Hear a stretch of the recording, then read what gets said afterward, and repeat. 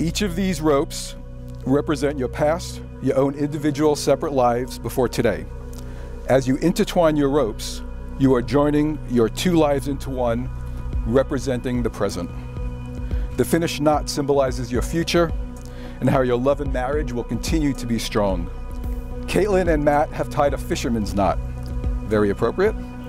This knot, when the ends are pulled, becomes so strong that the rope will break before it becomes undone. To my love, Caitlin, you are my best friend and the love of my life. Every day I get to spend with you makes me love you even more. I am proud to say that I am your husband.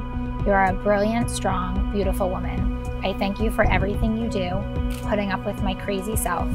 I thank God every day that I found you and that I found a woman willing to go fishing with me in the cold. I am glad to say that I have the rest of my life to try and catch a bigger bass than you in the channel. My friend, beach buddy, lifetime fishing partner, and most importantly, my wife. I love you more than you know. Love always, Matt. She's just a smart, fun loving woman. And uh, she means the world to me. She's gonna be a great mom. I can't wait to have kids. I just want to tell you that I love you. And you mean the world to me. And I can't wait to spend the rest of our lives together.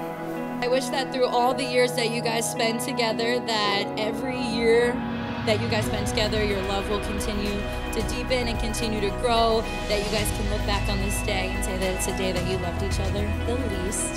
So, I love you both, and cheers to the new Mr. and Mrs. Mrs. Krauser.